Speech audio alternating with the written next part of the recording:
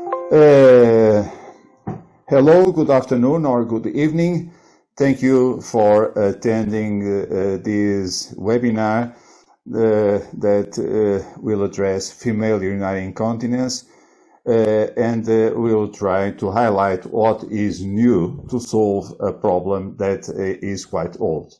My name is Francisco Cruz. I live in Port Portugal. I will moderate this webinar uh, which will have uh, also as speakers Karl Dietrich Sievert, professor in uh, Detmold in Germany, Professor Finazzi Agro uh, in Rome, Italy, and Professor Lopez Fando in Madrid, Spain. Uh, this uh, webinar is organized by the Euro European School of Urology Online in collaboration uh, with the uh, section, European section of uh, functional female urology. And if you want to get one European CME credit, you have to complete the questionnaire after attending the webinar. Uh, these are the disclosures of all the four speakers, uh, and uh, uh they will not be shown uh, during our presentations afterwards. This is also the schedule of the, of the presentation today, so I will make a short introduction then I will give you highlights about pharmacological treatment, uh, which uh, then the, uh, Professor Sievert will talk about sacral neuromodulation and posterior tibial nerve stimulation.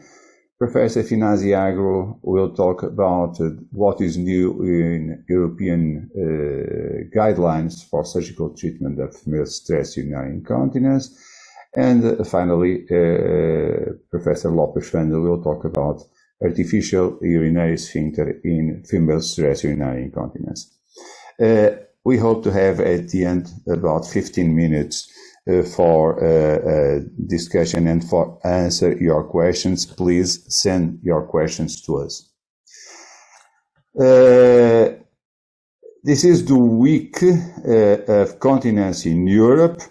And so I have a short introduction just to remember uh, all of you uh, that uh, female urinary incontinence is a serious health problem Uh, uh, in a survey uh, that uh, had as a main question, did you lose, did you have a loss of urine in the last 30 days? 40% of European women respond positively. Uh, and most had stress urinary incontinence, less had urgency urinary incontinence, and there was a, a group between with mixed urinary incontinence. Uh, we all know that urinary incontinence causes a, a, profound decrease in quality of life. Uh, in this study, you can see the difference when uh, uh people have, for example, this is for OAB, have urgency in blue, but not incontinence, and the decrease in the score, so the decrease in quality of life when uh, incontinence appears. And so the more severe the incontinence, uh, the more the lower is the red lines. Unfortunately, and for cultural reasons, uh, uh, women in Europe uh, don't seek, uh, at least quickly, medical attention.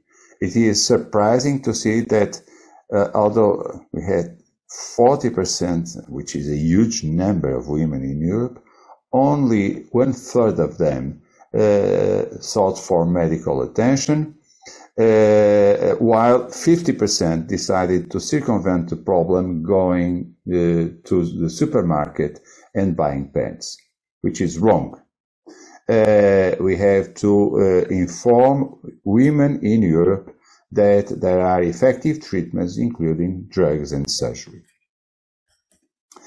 Uh, also, uh, I want to highlight that uh, urinary incontinence is extremely expensive to Europe, is probably increasing, and uh, uh, uh, the, the biggest part of the 4 billion of euros that is spent in the, these studies um, in these countries is incredible. Uh, that goes to uh, is a surprise goes to nursing homes, and nursing homes do not treat urinary incontinence just uh, uh, are a deposit for persons that have incontinence and change pads every day.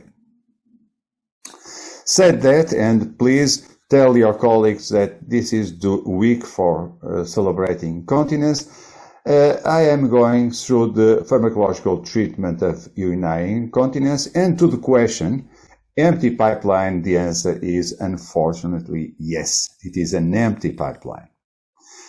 Uh, of course, pharmacological treatment is oriented for uh, urgency urinary incontinence for OAB, and so it mostly directed to uh, women, although in elderly men, uh, we also see uh, in the Noble study uh, a low percentage of men that have urgency urinary incontinence.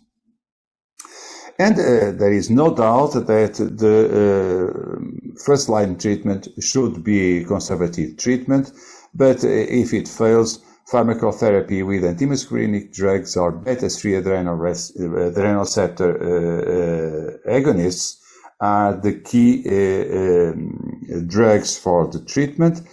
eventually, for postmenopausal women, local estrogens might be used and in uh, some circumstances to decrease urine uh, output, we might use desmopressin.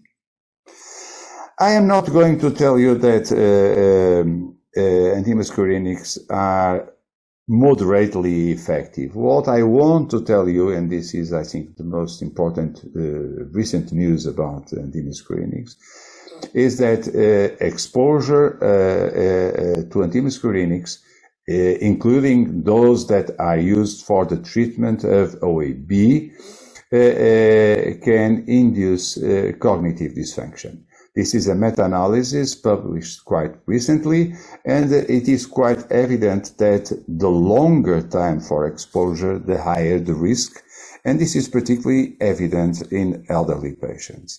So if you prescribe uh, uh, uh, antimuscarinic drugs for more than three months, check cognitive dysfunctions, please. Uh, we only have in Europe one uh, uh, beta-3 agonist, is mirabegron, is not much more, is not more effective uh, than antimuscarinics to reduce micturition frequency, and even uh, for dry, for for for decreasing incontinence and for uh, um, uh, putting the or making the patients dry. So on the right side is the fully dry rate, zero incontinence. You can see that uh, they are uh, the uh, mirabegron is quite similar to the the antimuscarinics when used in the normal uh, uh, um, doses. Of course, in high doses, uh, antimuscarinics might be slightly more effective, but the side effects are uh, more strong. We know now that uh, mirabegron is effective in elderly patients, even above the age of 75, to reduce incontinence.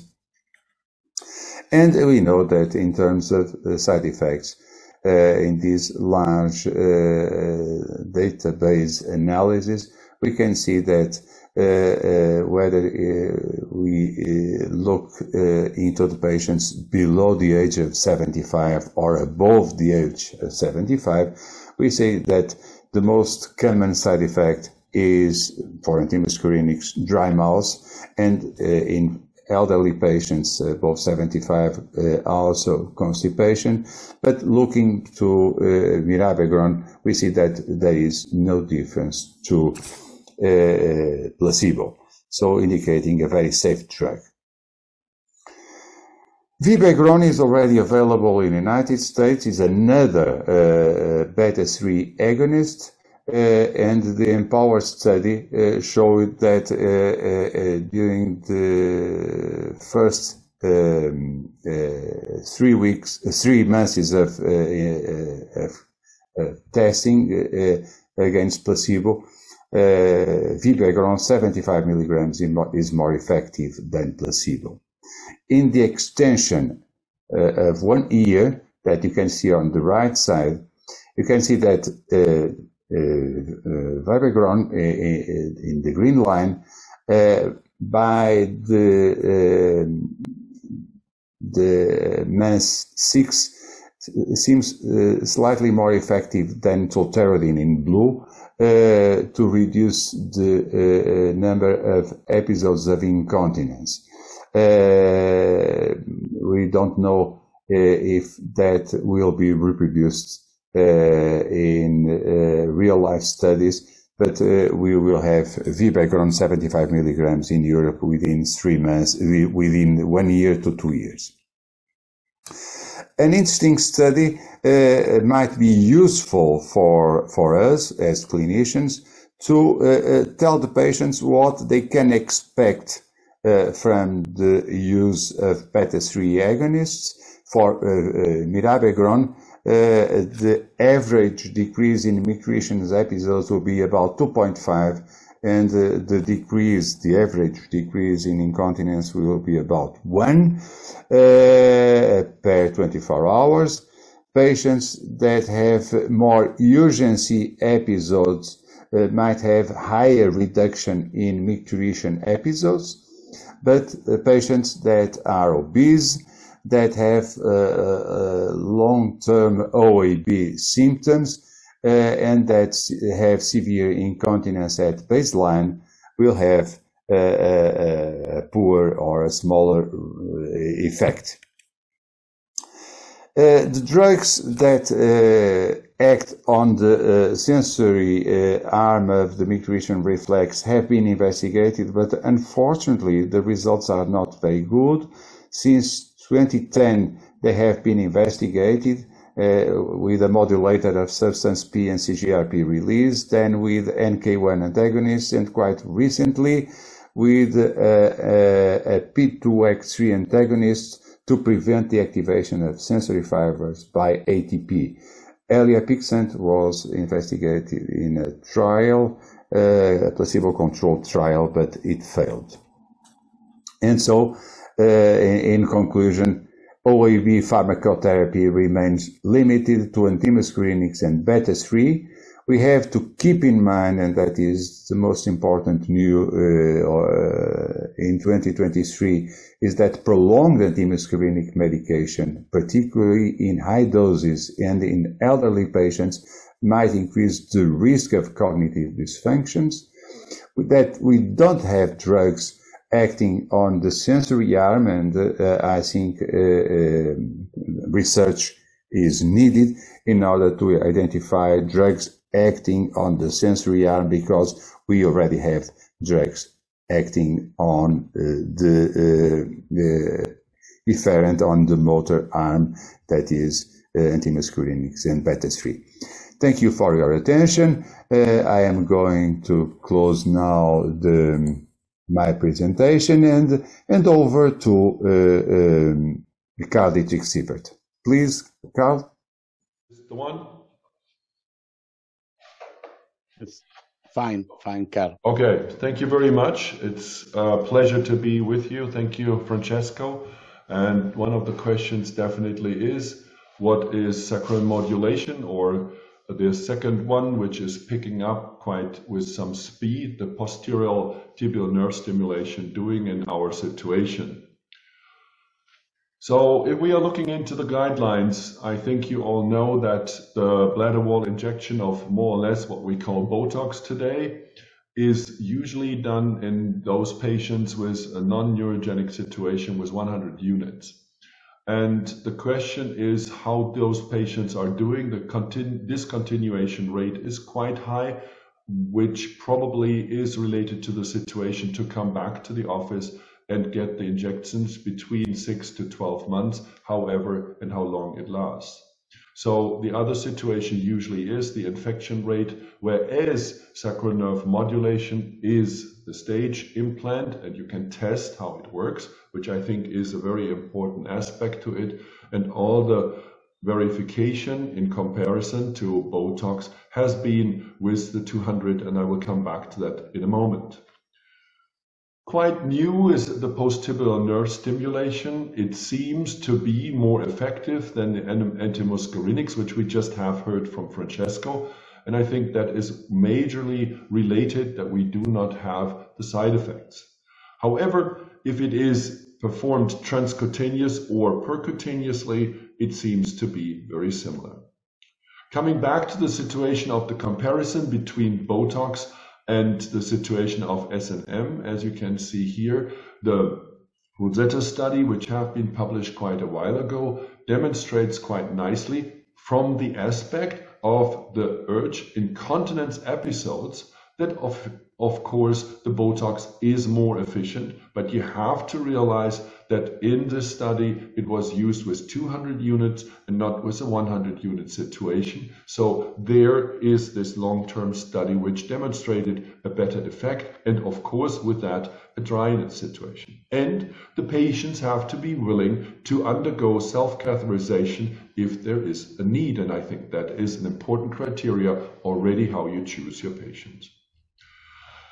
Just recently published is the question what is better in the economy side? And therefore, I think we have to all realize how we look at it.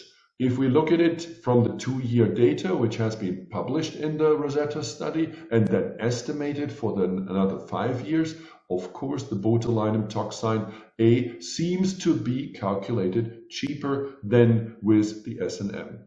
Another group coming from the Spanish side already published quite a while ago demonstrated that if looked for 10 years, it is the situation that SNM seems to be predominant compared to the botulinum toxin A situation, which was confirmed recently, beside the side effects, from a urology publication, which shows that there is a better outcome if you look beyond five years. So we have to keep in mind who is looking from which time frame.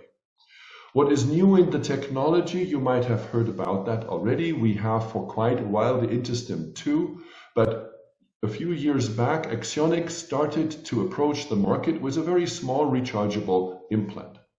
Therefore, Medtronic has to react and came up with the Micro, which is rechargeable, and now recently they came up with the InterStim X, which is not rechargeable, same size, but lasting longer, about 15 years. What is the advantage of rechargeable? We all thought probably patients who need higher energy and might be wheelchair bounded patients are beneficial from those smaller implants. For the Medtronic implant, I think a downside is you need to use two different electrodes. And if you want to switch between the InterStim and then the Micro and the X, you have an electrode problem. And as you can see on this picture, Axonics has also one with a battery, which is an IPG non-rechargeable. But interesting is that if we look on recent data from different publications, and especially from Medtronic themselves, that probably still more than 90% are recharge free, so battery implants and not the rechargeable. If I talk to my patients, I think it is related. You have to take extra package with you to charge it in a decent time again. Is there a benefit?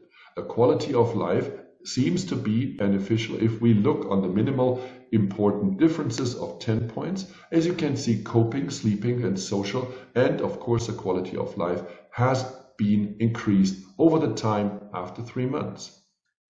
And if you see this for the OAB, urinary incontinence, and the frequency, the benefit is there depending how you put your measurements. We already heard about the cognitive situation. I think it is important because we have more elderly and we have to think about is such a treatment option one for those patients? And as the Goldman Group has demonstrated, we should not exclude those from the sacral nerve modulation, at least in this paper published. The sound study in, from France demonstrated us that there is, over the five years, a good outcome for these patients. What I want to point out, the surgical revisions with 39% seems to be quite high. If you look into other publications, it's around 8 to 10%. But 15% of these explants have been related to the situation because they have not MRI B compatible, which we have now for the new implants with the electrodes. Another new aspect is, which might approach into our testing phase, is that the group around Limin from China demonstrated that we can see different aspects in the brain reflected in the Broca in area already for the sacral nerve modulation and now recently very similar data for the tibial nerve stimulation. So we have quite some evidence that it is not only working on the level of the spine to the bladder, but also responding in, if working in the brain. Everybody is talking about MIST, minimal invasive surgical techniques. So it is no wonder that people are looking in what might be the ones which are picked up by our patients. Compared botulinum toxin, sacral nerve modulation, or tibial nerve stimulation demonstrated that those with PTNS have quite a rapid uptake during the last two years, wherever Botox and sacral nerve modulation are slightly increasing as they have done over the years. So we have to think about for our patients that they might want us to offer this to them. There are some implants coming, not only office depending, patients want to become independent. So we have different implants. Probably the, um, the coin one is the one which has been demonstrated the most recently, and it can be shown in this single arm trial that there is the effect we might look for. It is not as dominant as we would have expected in the United States now after the study, but I think we will see this and other implants to come for the tibial nerve stimulation. The TROOP study or the TROOP trial compared PTNS with the um, situation of onabotulinum toxin. And you all see in the top part that the detrusor overactivity was higher with 60% in the group of the Botox patients. And otherwise, after three months, it seems that the cure rate were quite similar between those two. Before I told you that it is variable and comparable to the drug situation, the oral drugs. But here we have the first evidence that it might be also very similar to the situation with Botox. And of course, again, the Botox will improve better the urgency and, of course, the urgency um, urge incontinence episode because of fatiguing the detrusor muscle. If we look into this, and this is a new comparison of the different types, and it might be a little bit irritating, but in conclusion, when we are looking to the different ways to use this, it is said that the orange line is the sacral nerve modulation, and the other one, the violet one, is the botulinum toxin A, and black, the PTNS. It is quite surprising that the SNM ranked first in the micturition frequency, the urgency episode, and urge urinary incontinence episode. So we have to look into the data. What is the outcome of the patient?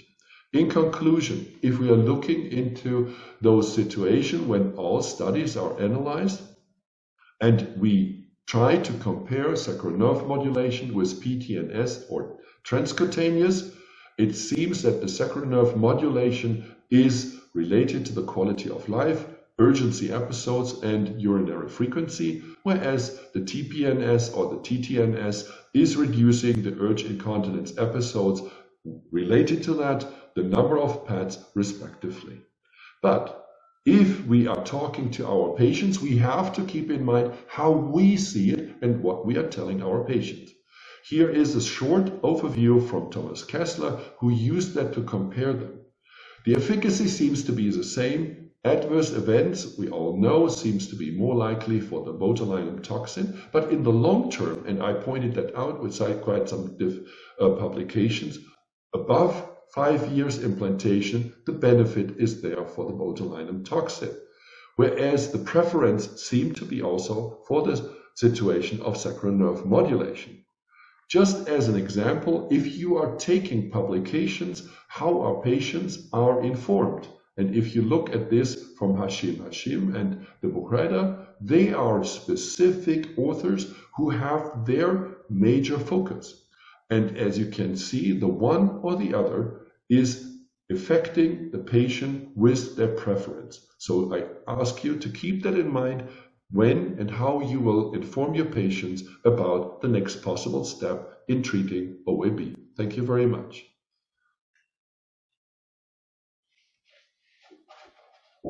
Thank you very much, uh, Kitty. Excellent presentation. Uh, Enrico, be ready. Yes, I'm ready. Thank you very much, uh, uh, Francisco. and so this is uh, um, my time. I would like to say hello to everybody who is listening to us.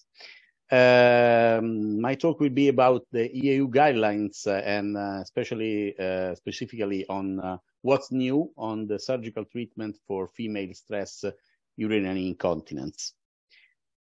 Uh, I hope it's working. Yes. You know, as you know, the guidelines are updated regularly. Basically, they are updated every year. So I will, I will try to put in this uh, presentation was what is uh, particularly new. Uh, so new from the 2023 guidelines or something new in the 2022 uh, guidelines. Um, I will talk about uh, what's new, as I was saying. I will uh, summarize uh, the new things in a slide like that with the here, here on the the bottom of the slide and the summary of evidence recommendations um, in in this table.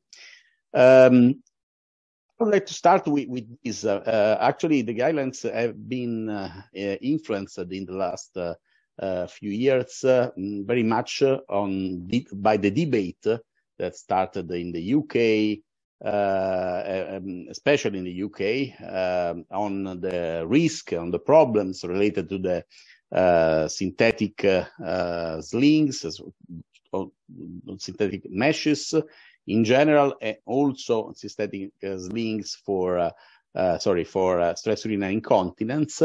And so I think this is uh, probably the first uh, new recommendation that uh, comes in these new guidelines that is employ a shared decision-making approach when deciding on appropriate treatment for stress urinary incontinence. This was discussed, you see, with also the patient representatives that are also contributing to the to the guidelines. And I think this is a, a very sensible suggestion that we have to share our mm, uh, decision-making uh, uh, approach uh, with the, with the, with the patient and to, to understand her um, ex expectations, her um, uh, thoughts before deciding the, the, the strategy. Um, but also the, the, the, guidelines also have to uh, collect data of the, on the literature and uh, basically what we can see, this is a, uh, this comes from the joint uh, statement of the um, AUA and SUFU uh, and AUGS society from the US. But you, you, see that we can agree that no other surgical treatment for stress incontinence mm, uh, has been uh, investigated as uh, the mid-urethral slings because uh, we have uh, really a lot of, of, data on, on this uh, treatment. Also, with the long-term data, you see here in these uh, slides, we have 17 years uh, uh, follow-up. basically, 17 years is a very long follow-up. If you are operated at 50, you are 77 after 70 years. And I mean, you are probably not the same the same person you you were when you got the, the, the operation. Uh, also, the SCHEER, the committee uh, that was uh, uh, created in, in Europe about the safety of surgical mesh, agrees that uh, the, the, the, the, data for slings are very um, are good, or at least are present, even in the long term. And this is also the position of the SINUG uh, uh, Society, the uh, Ibero-American Society for Neurourology and Urogynecology. And Uh, another thing that we should uh, mm, consider is that uh, we, if we look to the literature, the, the mid slings have uh, mm, in the literature less pain, shorter hospitalization, a faster return to usual uh, activities, and a reduced cost as compared with uh, historical or previous options uh, that we were used before the, the slings. Um, so is there uh, something better? Uh, basically, uh, if we look to this uh, um, systematic review by Fernando Fusco and co-workers, uh, the slings seem, seem to have either better results, for instance, in comparison to uh, Burch colposuspension, or less complications, for instance, versus the pubovaginal uh, slings. And this is also something that we should consider. But at the end, this is what our guidelines suggest. So to offer mid-urethral slings uh, to women seeking surgical treatment for stress urinary incontinence, but following a through discussion of the risk and benefits uh, relative to other surgical modalities. So we have to inform always patients about uh, the good aspects of uh, the, the slings and or the of the other possible surgical treatments before uh, to to decide uh, the operation. What we also the guidelines say is that uh, the long-term outcomes of the retropubic route seems to be, seems to superior to the transobturator route outcomes.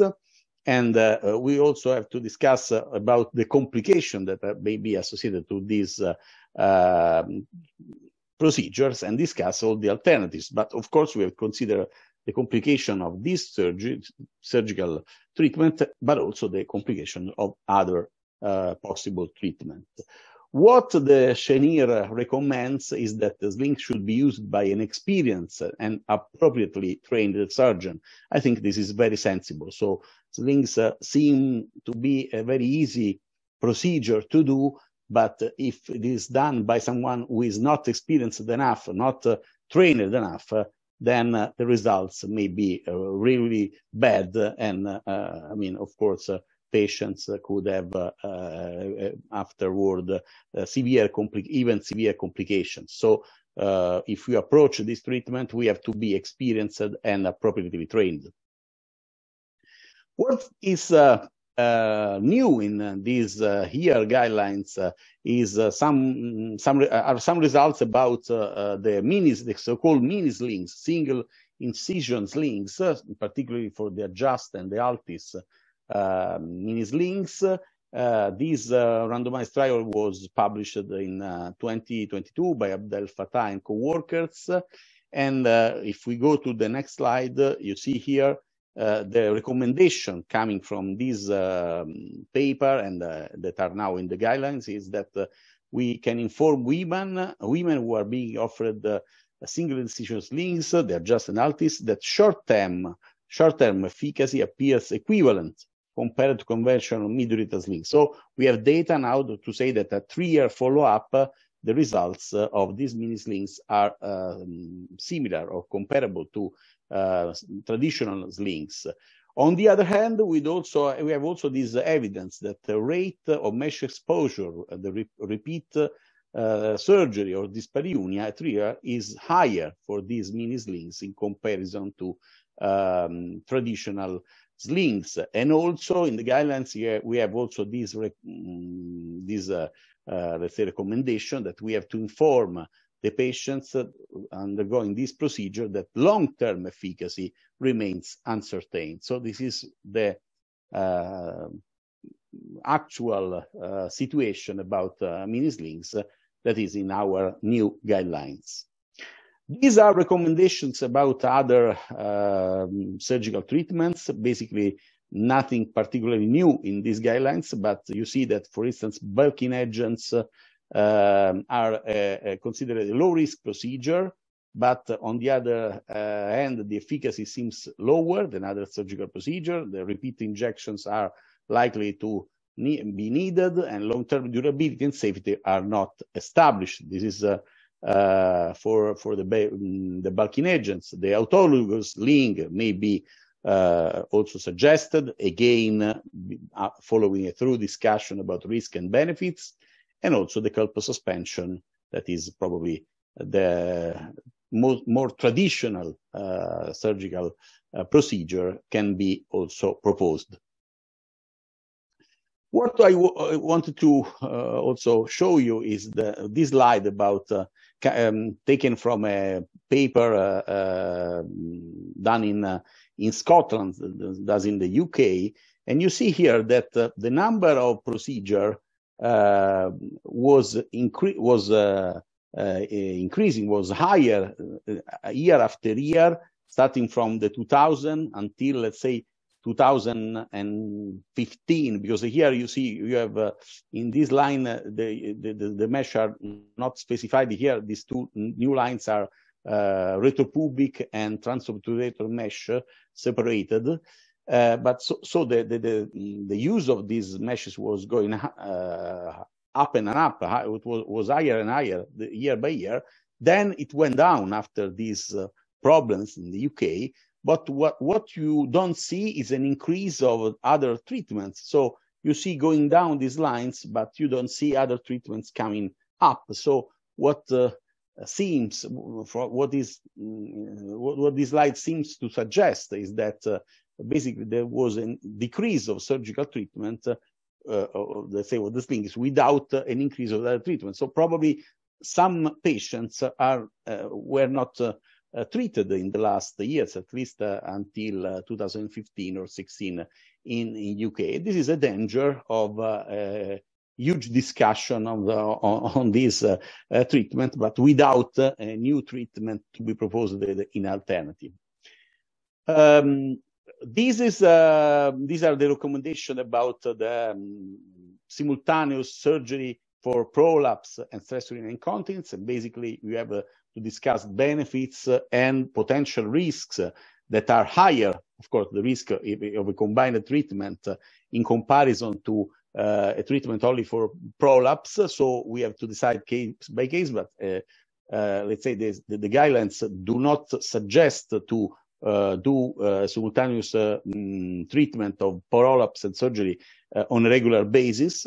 And these are the recommendations for the uh, mm, recurrent uh, stress urinary incontinence, uh, you see that adjustable mid-urethral slings can be considered a, a, good a good option in in this category of patients.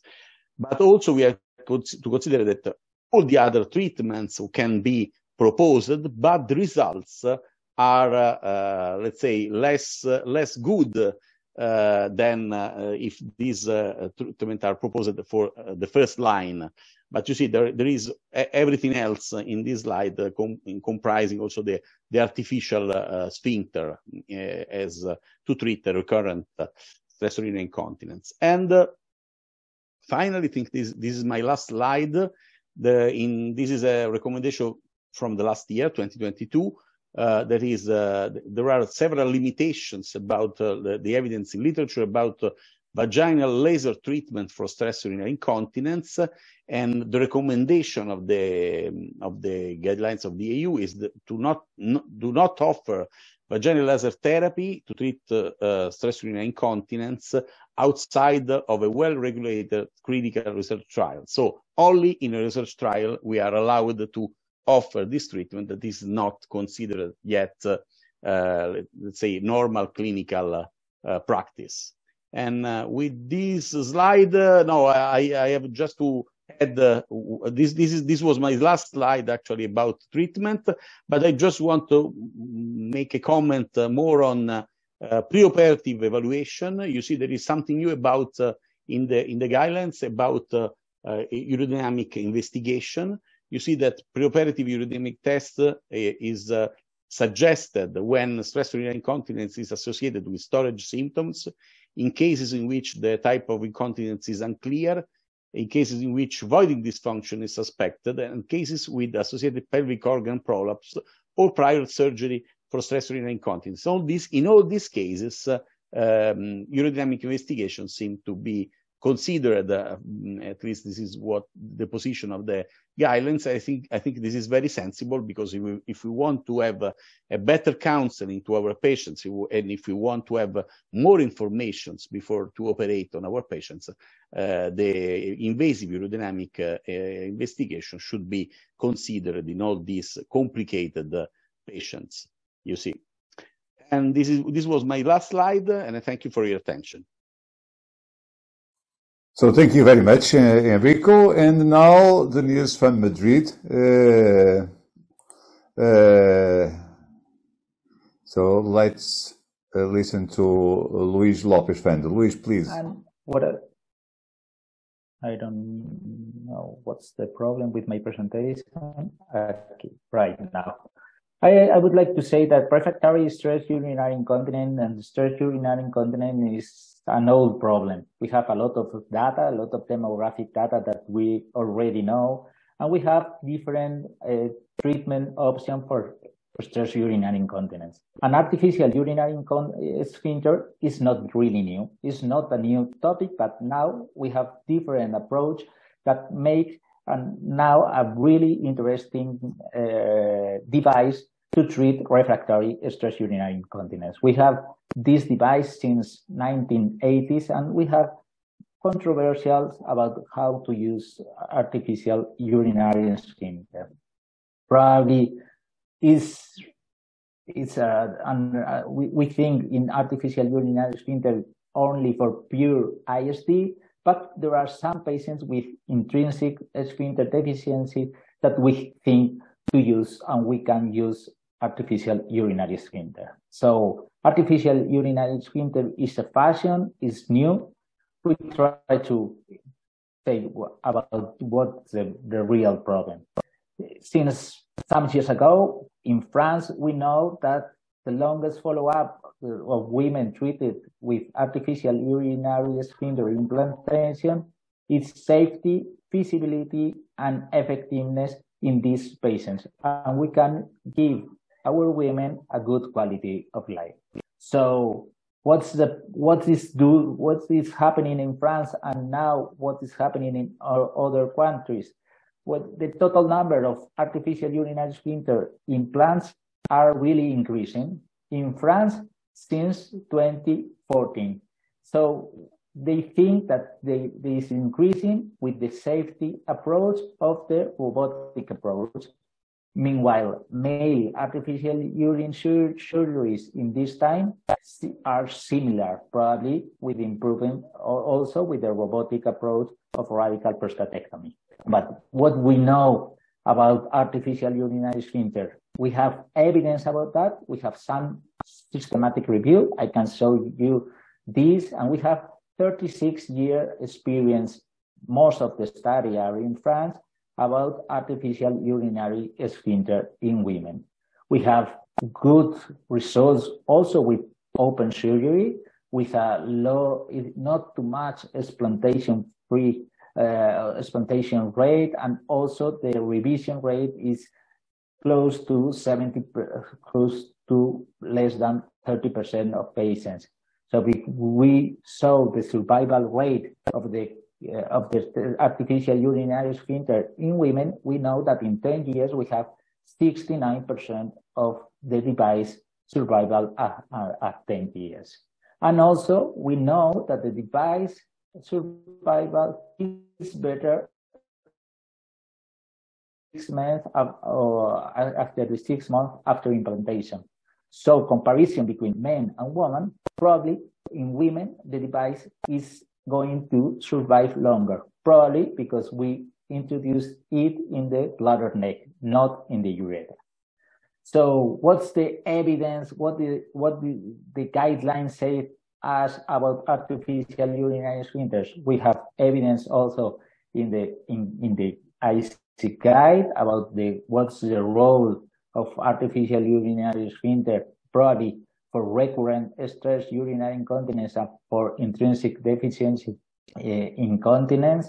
But also in the European guidelines, we know that implantation can improve and cure incontinence with uncomplicated stress urinary incontinence and also for complicated stress urinary incontinence. But we have to know that in women with previous birth, colposuspension, or previous radiotherapy, explantation rate is really high. But we have to know this, but it's not uh, a contraindication for this implantation. So why the gold standard for men is not the gold standard for women? What is the difference between France and the rest of the world? The difference is that in the guidelines, in the French guidelines, the artificial urinary continence is the gold standard in case of lack of urethral mobility, but not in the rest of the world that we, it's, it's another treatment. Why is that? Probably because we think that we have not enough data, but we have 36 years of data we think that we have non-clear indication, but we have a clear indication. Probably there is controversy with surgical route. We are going to talk about laparoscopic and robotic because it's safety than uh, uh, than open surgery. And we are afraid about complications. We are afraid about medical, me mechanical failure, and we are also afraid about long-term results. But we have shown that we have data enough to say that we have good results and long-term results. So the problem is safety. In the series, we have we have shown that 20% of patients, so one each five patients, have problem with bladder neck dissection. We have problem with bladder perforation or vaginal injury, probably in open surgery. But also in some, when you do an anterior approach, you have a non-really anatomical plane. We can find this anatomical plane with the robot, but not with open or laparoscopic if you go for an anterior approach. So we need to find an, an anatomical plane, and we think that vesicovaginal space that it can be done, it can be performed laparoscopic or robotic is the best approach for laparoscopic artificial urinary sphincter. So we are going to talk on, only for laparoscopic. I'm going to show you the videos, but you can perform this surgery similar with robotic.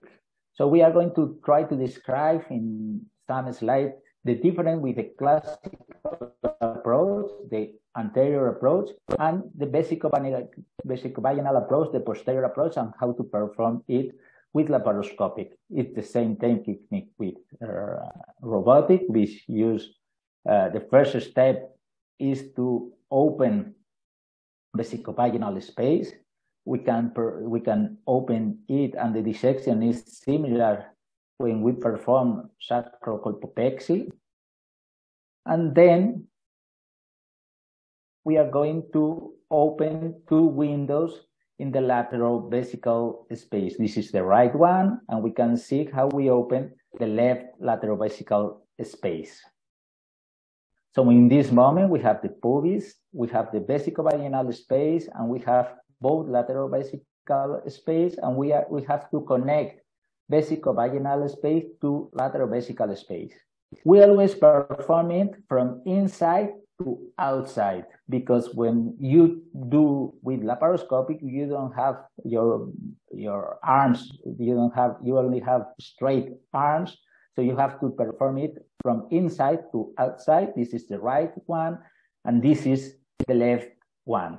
You it's not a blind technique. You are control all the dissection from inside to outside we introduce the cuff sizer we introduce from outside to inside to the vesicovaginal space and from inside to outside, and then we dissect the the, the anterior bladder neck, and we try to perform the pubovesical, uh, pubovaginal, uh, pubovesical ligament. We, have, we always perform in this moment flexible cystoscopy to control where is the, the device and where we are going to introduce the device.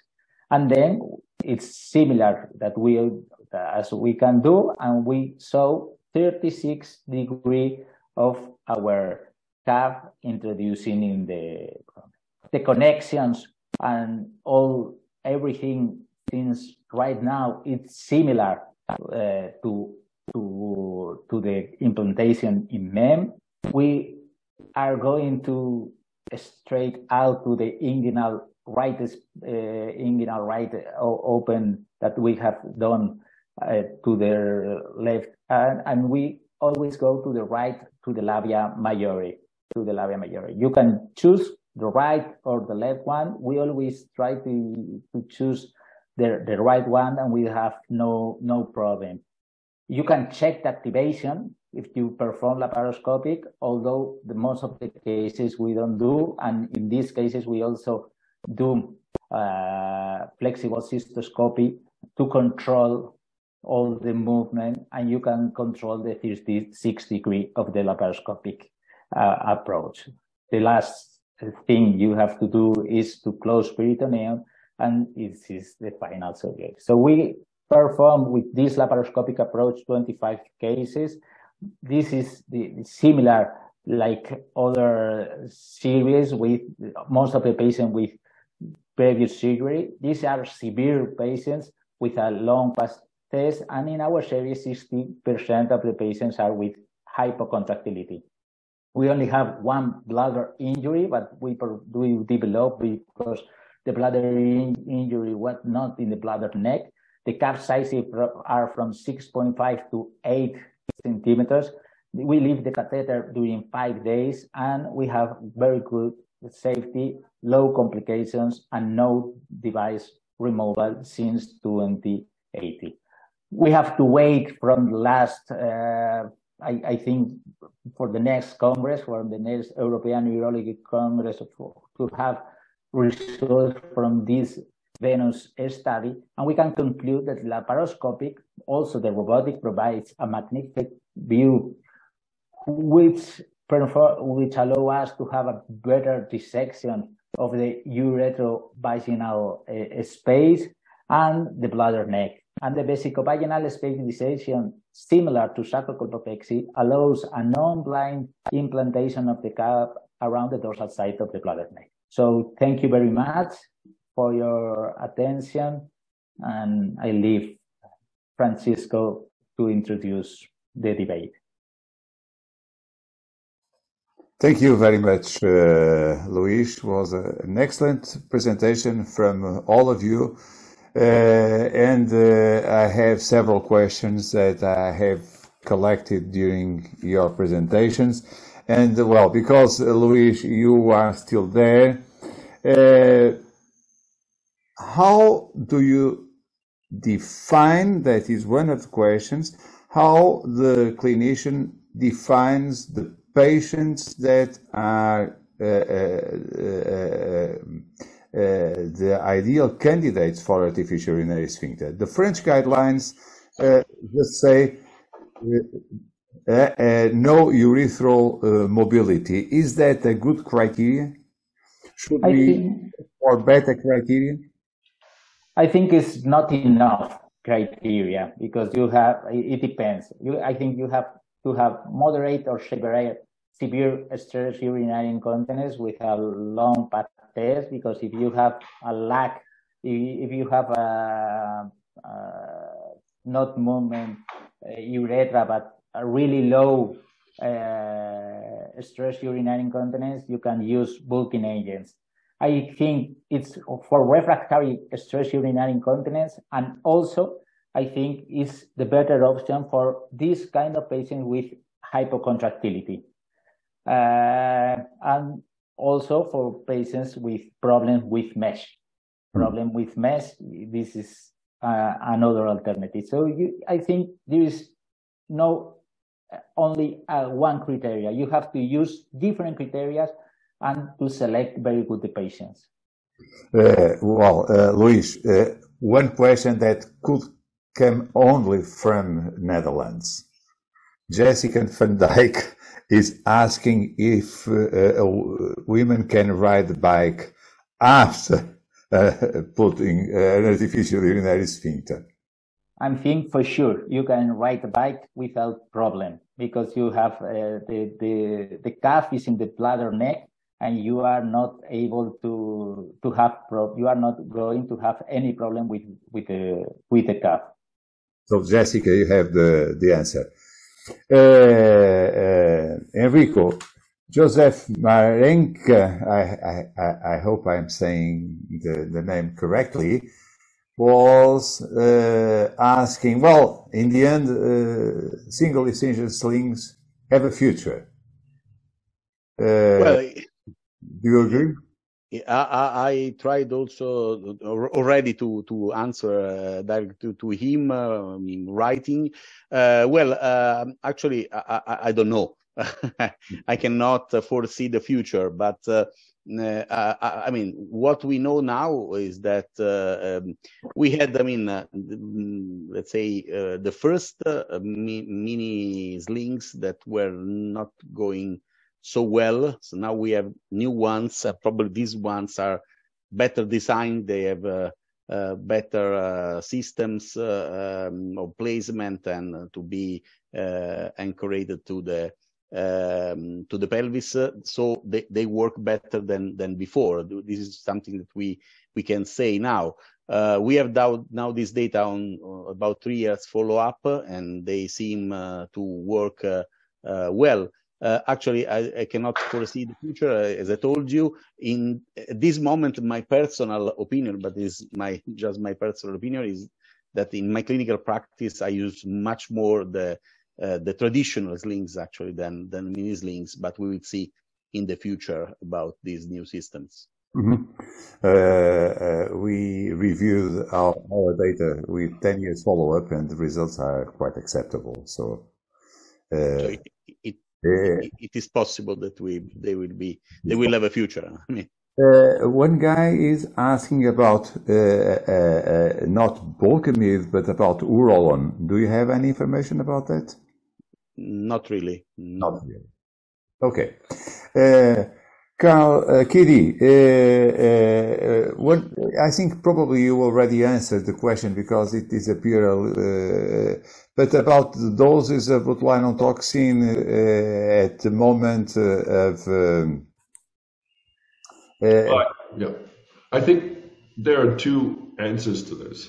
If we go to the guidelines for the non-neurogenic situation, it is 100 units of botulinum toxin A onabotulinum toxin. If you are switching to another company, you have to look into the lines, but it is approved now in many countries in Europe. But on the other side, if it is not effective, we see more and more colleagues to use instead of the 100, also the 200 in the long term. So the recommendation is definitely to start with 100 and see what the effect and how long it's lasting. And then, if needed, I would suggest to wait at least four months that you don't have the situation maybe to an allergic situation, we do not know, but wait a certain time until you do a second additional injection to it. Uh, uh, if a patient comes to you and I, I, I enjoyed very much your slide showing that the uh, the, uh, the, the, the um, surgery uh, preferences uh, influences the patients. But let's admit that, like you, you are not, the surgeons don't influence the patient. what do you think it is the best first option that for, for a patient with uh, uh, urinary incontinence not not not controlled by oral therapy. Should we we go immediately to sacral neuromodulation, or should we go uh, still for a period of Botox uh, and uh, have, let's say, a delay in terms of uh, uh, of uh, in the implantation of sac- sacral neuromodulation? I think it is definitely what you have to find out in the conversation with your patient preference. Some patients do not want to deal with the technology of a sacral nerve modulation, an implant, as we have the classical ones. Others are afraid of the situation of coming back for injections. I try to take it from that point that if the patient decides for botulinum toxin, and if it doesn't work, we cannot immediately switch over to sacral nerve modulation evaluation, like a PNE test. But we can go for the evaluation with a PNE test. And if it doesn't work for this patient, we still can go very quickly and switch over to the botulinum toxin treatment. And I think that is an option which should be discussed. How much time you have to have between the first Botox and then the initial testing phase of the sacral nerve modulation or another technique like tibial, but that you do not have like an overlapping effect of the botulinum toxin with additional treatment if it is post-tibial uh, nerve stimulation or sacral nerve modulation. So that is the only thing which I try to advise the patient, but otherwise I try to find out what kind of type the patient is and what they want to go with. If you have somebody who wants a much faster track, probably the botulinum toxin is what they want to start with because they come usually, and you pointed it out, it takes quite a while before a patient is coming to consult you for their issue. And therefore, some of them are quite frustrated over the years and they want really something happening immediately. Mm-hmm. Uh, what is the acceptance of uh, the implantation of PTNS devices uh, in Germany? It's quite small still. Quite small still. Okay, uh, and uh, I have uh, two questions uh, that were directed uh, to me. Uh, one was from Joseph. if there are drugs that are under development for stress urinary incontinence, Unfortunately, no. Uh, there was a small trial with a, a, a drug similar to duloxetine, but uh, it failed. So nothing. There are no drugs for stress urinary incontinence, and I'm sure that drugs do not reposition the bladder and the urethra in the right position. So I don't believe on uh, drugs for stress urinary incontinence. Uh, about uh, the uh, the uh, cognition, uh, cognitive effects of antimuscarinic drug.